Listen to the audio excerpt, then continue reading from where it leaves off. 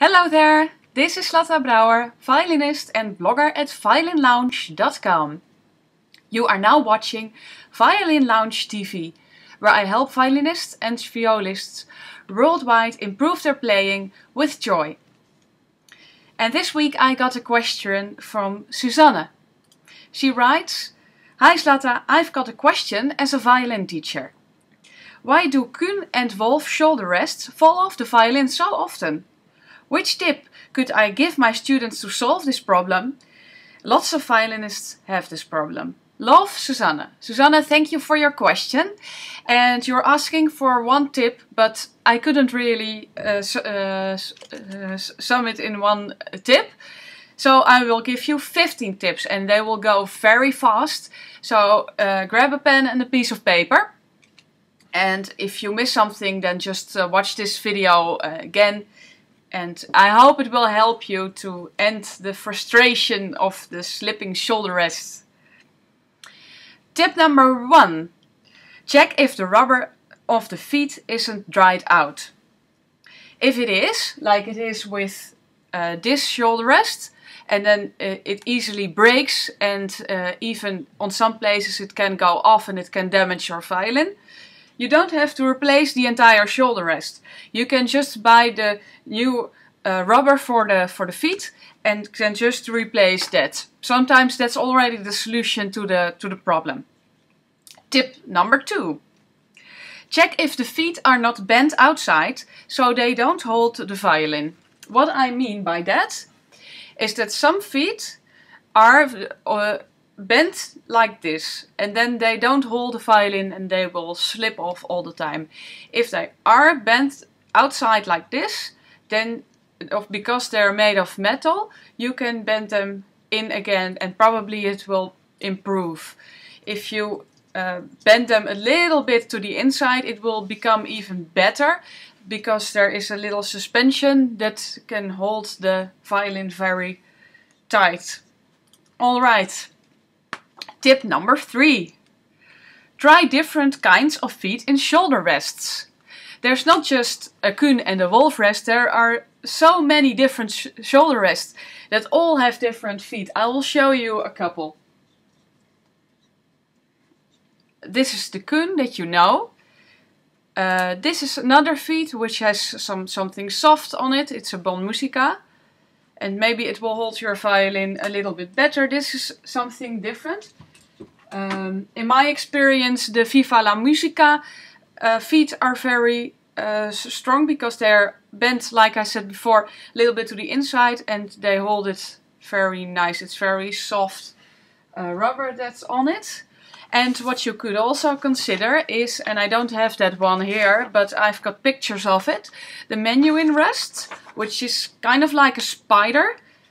And that is this way on your violin and that holds it also in a in a good way because the feet are outside each other and they will hold the violin better. So maybe that's an option and they're very cheap. Uh, that's another advantage of them.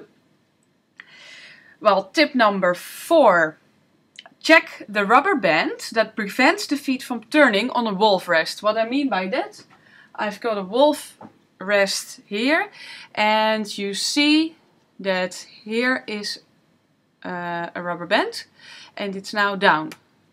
And here it's on the other side, the rubber band is here against the screw of the, of the foot and then it doesn't turn so easy and here it's very easy to, to turn it.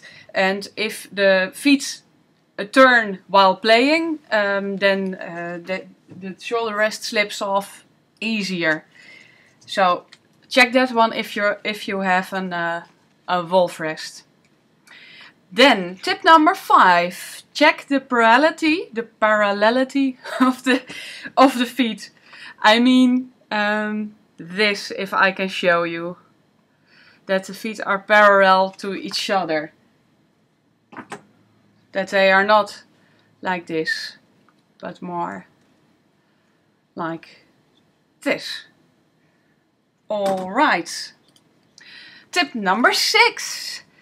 Put a rubber band around the foot and the corner of the violin. I couldn't find all morning a rubber band, but what I mean is that if one um, one side keeps slipping off, some people have their shoulder rests a little bit like this, and then uh, this side will um, e more easily slip off the violin because it's uh, in the corner here.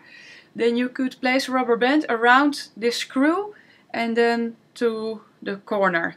Uh, lots of people do that, but in some individual cases it is also possible that the, the rubber band makes it even worse, that it uh, tears the, uh, the shoulder rests off your violin. This is maybe an easy one, but it's tip number seven. Try different shoulder rests before buying one. So really select also for your students, select a, a shoulder rest that is suitable for your individual situation. And um, uh, tip number eight, and that's kind of the same. Don't buy a shoulder rest online if you don't know for sure which one is best for you and the rim of your violin or viola. For example, the rims of this violin are quite thick and well, yeah, how do you say that? It's quite thick. But of some older violins, the rims are almost gone and you have to, to adjust the feet of the shoulder rest um, to that also, not only to, to your shoulder. Alright, tip number 9. Put the shoulder rests firmly on the violin or viola. What I mean is that a lot of students don't really know how to hold the violin while they put the rest on. And they put it off like, oh, it's on, and they go playing and then it falls off. But you really need to press it down a little and it goes quite some uh, quite more on the violin and then it will not so easy uh, slip off your violin. Okay, tip number 10. I hope you're still watching and not falling asleep. Adjust the shoulder rest in a proper way so it doesn't press itself off your violin in a strange corner. The pressure on the violin, the pressure on the shoulder rest, mustn't press in some way the shoulder rest of the violin. If you if it doesn't really fit your shoulder, then with the wolf rest you can uh, turn it a little.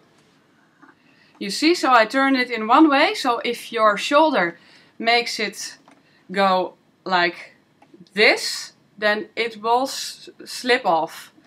So, but if you turn the if you pivot the shoulder rest, you can do that like, like this. Then you can adjust it in a way that your shoulder doesn't press the shoulder rest off the violin. Okay. Tip number 11. Check if your shoulder rest is not too wide and falls off. What I see a lot with, for example, the, this Kun Super rest is it's quite wide, uh, wide in this in this way. Um, and on some violins, violins can differ a little bit in, in size. Then it's maybe too wide, so it will keep sliding.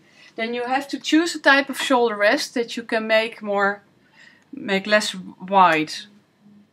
All right, tip number 12. Check the combination with your chin rest.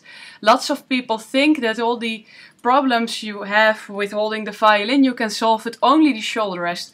But the combination with the chin rest is also very important and I will probably make a separate video about that. Tip number 13. Have a relaxed violin hold with a rest that fits well. Don't play with too much tension which causes a lot of pressure on the shoulder rest and forces it off the violin. So if you're playing with really a lot of pressure to to hold the violin, which is off, which is most of the time a sign that the combination of the chin rest and shoulder rest isn't perfect, then you can press it off. The more pressure is on the shoulder rest, the, the bigger the chance gets that it, that it falls off. Okay, we're almost there. Tip number 14. Make a shoulder rest yourself or have it made by an expert. That's also an option. If all the standard brands shoulder rests don't fit you, then the ultimate solution could be to create a shoulder rest yourself or adjust an existing shoulder rest or have that done by an expert. Okay, the last one, number 15. There are alternatives to shoulder rests. For example, a shoulder pad, which you can buy or you can make it yourself. Or maybe nothing at all. And you can, uh, can probably test it. Well, I hope I have ended your big frustration and also your students' frustration now once and for all. And I would really like to know how it goes and if these tips are useful to you. I really hope so. So good luck with that. And I would thank, uh, like to thank you all for watching Violin Lounge TV. Do you have questions for me on violin or viola playing? Post a comment below or send an email to info at violinlounge.com. And I would also like to ask you if you have other tips for slipping shoulder rests except from the 15 that I have just given, please post them in the comments because people are really frustrated by slipping shoulder rests. And if you can help them, please do by giving your tip, sharing your advice in the comments below. Thank you very much for that. And if you like this video, then like it. If you'd like to see more of these videos, then subscribe to this channel and you will see lots more at least every week. If you'd like more people to enjoy this video, then share it with your friends. Thank you for sharing the joy of violin playing. See you next time. Bye bye!